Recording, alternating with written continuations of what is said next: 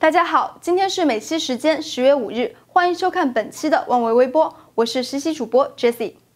香港民主抗争已持续数月，香港局势加速失控的同时，也受到了越来越多国际社会的关注。马来西亚总理马哈迪尔公开表示，六四事件将在香港重演，并称特首林郑月娥最好选择辞职。这是首次有国家领导人做出这种表态。据马来西亚媒体报道，在四日吉隆坡一次公开会议上。马哈迪尔回应记者提问时表示，鉴于持续多月的反政府示威不断蔓延，林郑月娥理应下台。他认为林郑月娥现在正处于两难境地：一方面，她必须服从中央政府的要求，可是良心告诉他，香港人拒绝修例也是对的，但他也知道拒绝有关法律的后果。马哈迪尔强调，他认为类似天安门事件最终会在香港重演，因此林郑月娥最好的选择便是辞职。林郑下台是港人提出的五大诉求之一。这是第一次有国家领导人公开做出疑似支持港人诉求的表示。林郑月娥当天在禁蒙面法立法记者会上回应马哈迪尔说法时称，任何人均有其表达自由，但他未看过相关报道，拒绝评论。这并非是马哈迪尔第一次对香港危机发表评论。今年九月初访问日本时，他曾表示不看好一国两制，不认为一个国家有两种不同的制度真的行之有效。这种情况确实已经发生。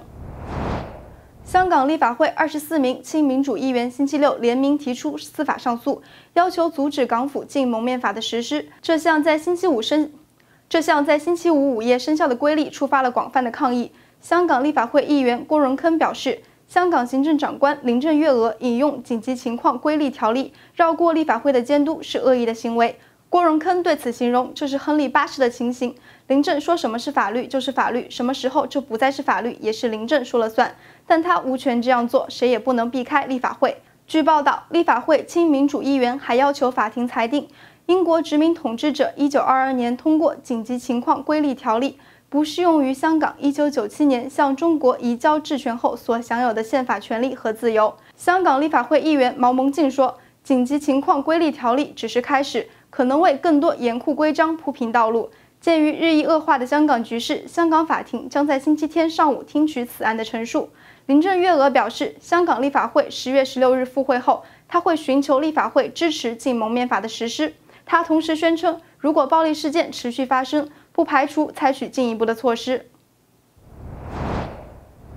美国与朝鲜官员在周六斯德哥尔摩市郊一座偏远的会议中心展开今年六月川金会后首次事务性谈判。会后，朝鲜代表透露，同美国就重启朝鲜核问题会谈的工作会议破裂。朝鲜方面表示，谈判破裂的责任在美方。美国随后反驳朝鲜方面的说法，称与朝鲜代表进行了良好会谈。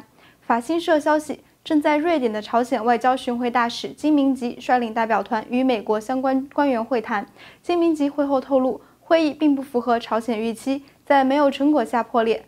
他指责同美国没有改变旧思维有关，而美国稍后罕见表示，与朝鲜方面在瑞典进行了良好会谈，并强调朝鲜代表对美朝斯德哥尔摩的工作会谈进行的评价与会谈气氛和实质内容不相符。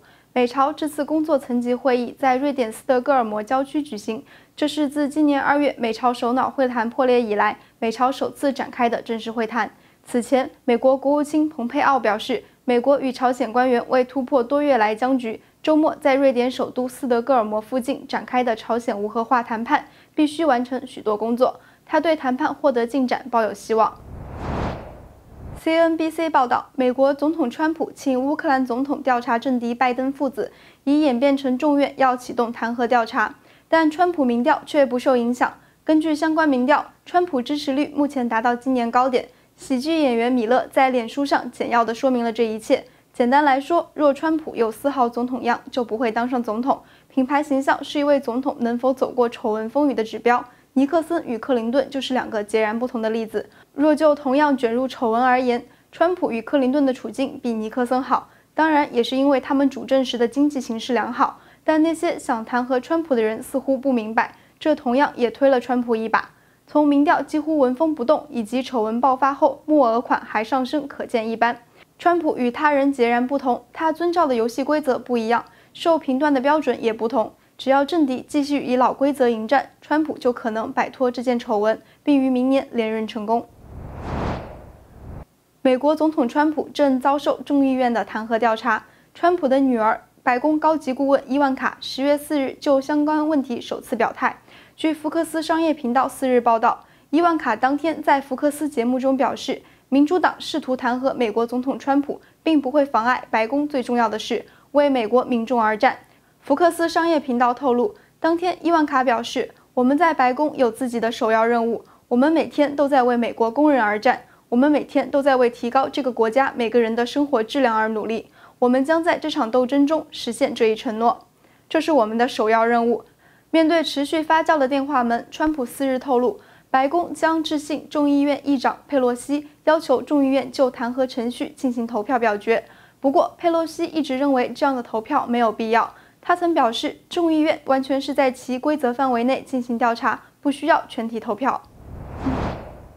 川普总统四日签署公告，要求申请美国签证的移民必须证明足以负担医疗护照费用或获得批准的医疗保险，否则可能遭拒绝入境。新规定十一月三日生效，针对新申请者不影响持有绿卡的永久居民，也不影响寻求庇护的难民或儿童，但适用美国公民的配偶及双亲，可能影响试图让家属一亲的美国居民。这项公告指出，移民将被禁止入境，除非他们能负担入境三十天内的医疗保险，或在成为永久居民后仍有充足资金来源支付任何医疗费用。白宫表示，大多非公民滥用慷慨公共健康计划，造成无法补偿的健康护照负担。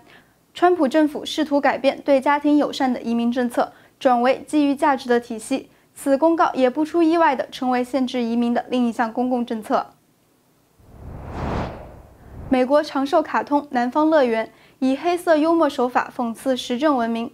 本周四上线最新一季遭中国封锁，内容讲述主角 Randy 为了在中国市场出售违禁品，于是亲赴中国。不过一入境就被送入劳改营，还碰见政治犯小熊维尼，因为内容有人权及新疆在教育营等敏感内容，因此被下架。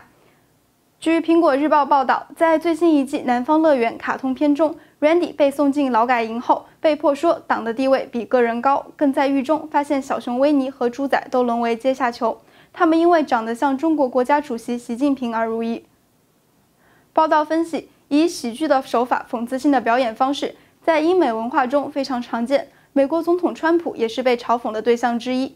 中国很有趣的地方就是，只要是触碰到国家不允许的，就不可以播放；反而是满街的盗版侵权，反而可以播。普世价值格格不入。见证七十周年的国宴都吃些什么山珍海味？日本新闻网记者徐静波在微信上发文表示，从现场的几张菜品照片来看，外界一定很惊讶。国宴的菜式简约，除了几个冷菜，就是四菜一汤的热菜，或比隔壁小吃店的菜还简单。徐静波称，与去年的国庆国宴不同，今年的宴会邀请函印制的特别漂亮考究。而且都在信封上印上了每个人的姓名，属于收藏版。桌位也是早有指定，不能随便乱坐。二楼的宴会大厅，据说最多时能够容纳三千人同时就宴。从他拍摄的照片可以看到，这次的国宴很简约，除了几个冷菜，就是四菜一汤的热菜，没有传说中的茅台酒，只有国产的葡萄酒和普通饮料。另外，国宴还端上了一盆寿桃，因为不舍得吃，几乎每个人都是带了回去，等了十一过后再细细品尝。以上是本期望维微波的全部内容，感谢您的收看，我是 Jessie。如果您喜欢我们的节目，请点击屏幕右下方订阅我们的频道，我们下期再见。